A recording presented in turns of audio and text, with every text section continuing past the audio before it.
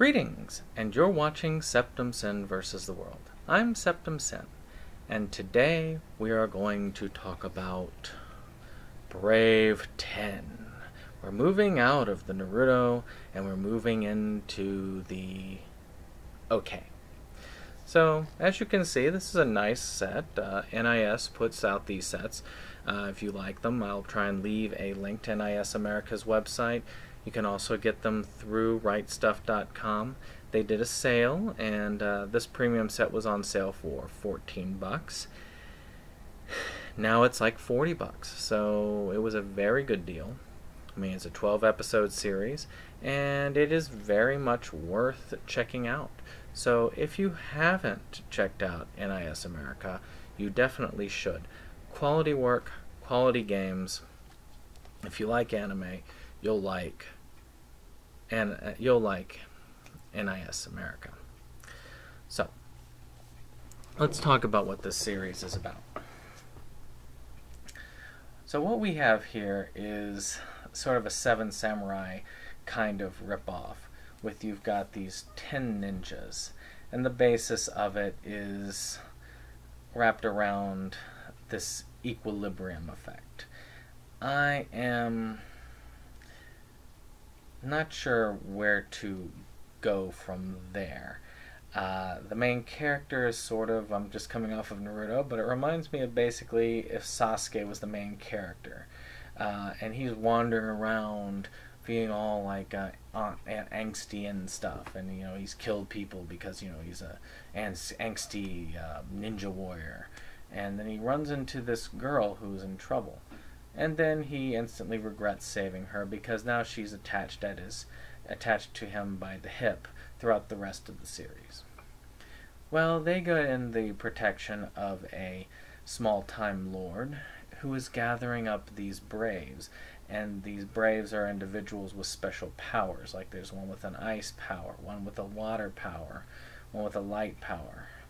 And they all band together in order to form a stronger group and to protect the girl who hides within her some great power that other ninja lords are looking for. So let's talk about what's good about this. I actually really thought that the fights were well done. The animation was decent, and it has an interesting, you know, catchy little ender theme. I mean, I, I can't really diss it on that.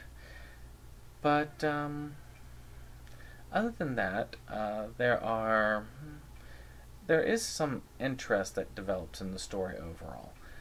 I think there is a depth to this and a potential to this that is much greater than it would appear on the surface. I need to check out and see if there's a manga adaptation of this because it would be interesting to just sit down and read this and to get to know a little bit better and get to understand it and see where people are going with this. And the reason I say that is where it goes to the the bad part. See, I might not read the manga because I really didn't find it overall that great. I didn't find the characters that intriguing. Following basically Sasuke as your main character doesn't really help you that much. I wasn't really um, all that happy with that. And then in the end, I felt like it was much too short. I mean, 12 episodes really was not enough. I felt like when we're building upon this sort of thing and we are moving one episode after the other, by the time you get to the end, you're just barely introduced to all the characters. You barely get an idea as to who they are, how they interact, what relationships they have. So when the things happen that happen at the end, you, you kind of don't care, and that doesn't help. And plus, it felt rushed. And those are two things that should not be the case. I was actually sadly underwhelmed. But, when looking at this as a whole, the product I would say would garner about a 6 out of 10. I mean, good packaging, decent quality, and an okay action story for the price if you get it for what I got it for. $40, not so much.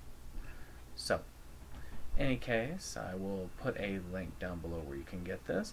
But again, 6 out of 10. I hope you've enjoyed this review. If you like our video, uh, please click like and of course subscribe and share.